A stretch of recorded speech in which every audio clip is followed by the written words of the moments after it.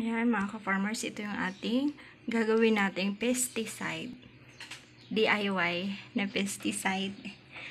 Ayan, try natin ito mga loves kasi yung aking halaman dyan sa labas ng bahay, ayan, may mga uod at saka may mga butas-butas na yung dahon.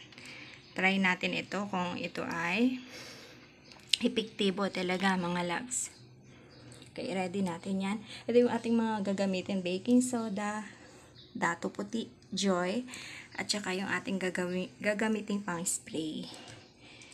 Tapos, maglalagay tayo dito ng water. Ayan. Kung ma-notice nyo mga loves, yung aking baking soda na gagamitin ay matigas na. Ayan. Sumingaw, na, nasingaw na kasi siya. Nakasingaw kaya ayan, tumigas siya. Ito yung aking gagamitin. Lagay natin dito. Para hindi masayang yung ating baking soda. Gamitin natin pamatay insekto sa ating mga halaman. Ayan. Ayan. Lagay natin dyan. Tapos, isang kutsarita ng joy.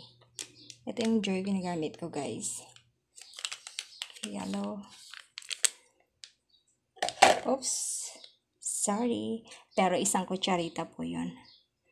Ayan, lagay na natin dyan. Tapos, lalagyan natin ng water. Yung ating tubig na ilalagay. Ayan.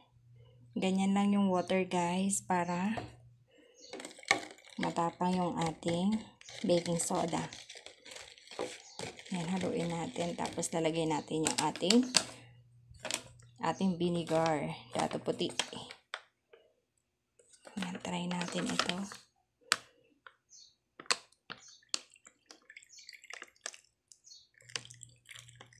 Yan, hindi ko na kinutsara. Pero estimate ko na lang itong mga loves na dalawa dito.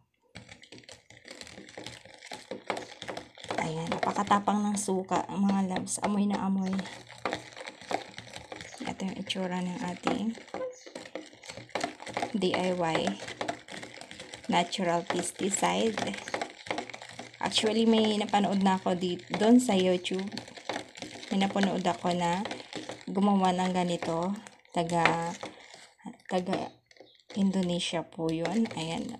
Nakita ko naman effective. Sabi ko, try ko kaya dito. Ayan.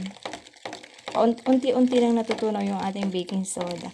Pero kapag uh, meron po kayong available na hindi naman matigas na baking soda, mas okay po yon Ayan. Yung sa akin kasi ay tumigas na.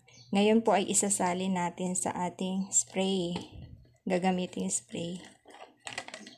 Ayan. Hinugasan ko naman na ito guys. Sasali natin. Sana wag matapon. Yan mga loves. Sali na po natin.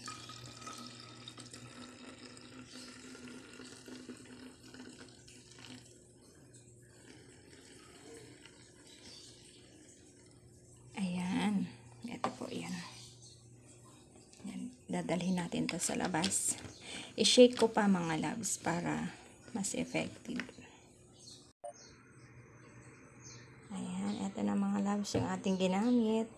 Baking soda, joy, and dato puti. Ayan, ito na ang ating natural pamatay insekto sa ating mga halaman. Okay, samahan nyo ko mag-spray sa ating halaman na may mga insekto na.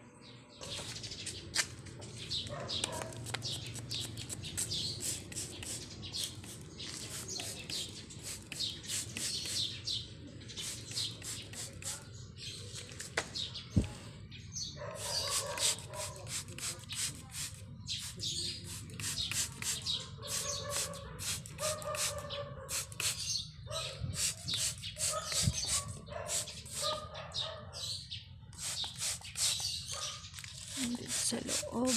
Ayan, para mamatay yung ayan oh. Umitim na talaga yung aking ayan guys mapapansin nyo din na may mga kita nyo ba? Ayan spray natin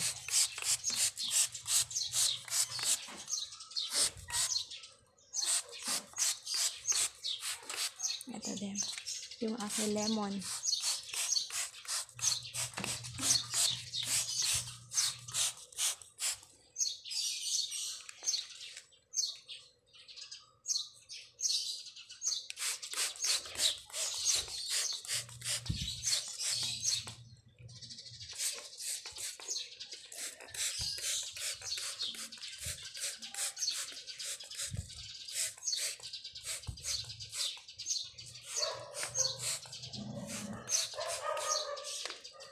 ilalim ayan.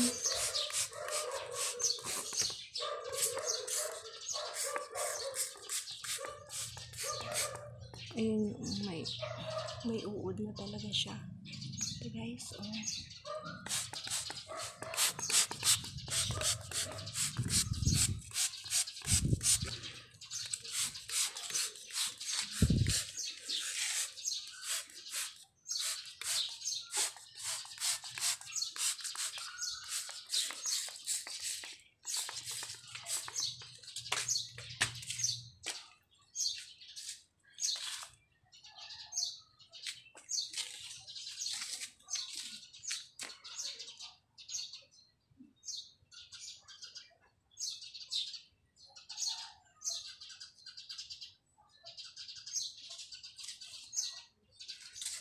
Ito.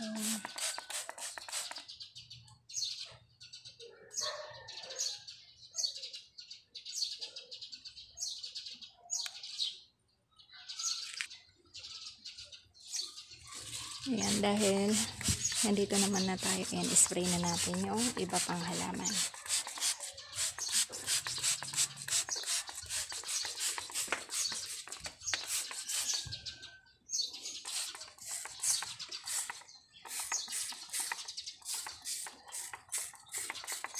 Ayan, okay na. And after po, um, mga siguro bukas or sa susunod na bukas, ayan, update ko po kayo kung anong mangyayari sa ating in-spray na in-spray na ano, pesticide, natural pesticide sa ating mga halaman. Okay guys, thank you for watching. Salamat po.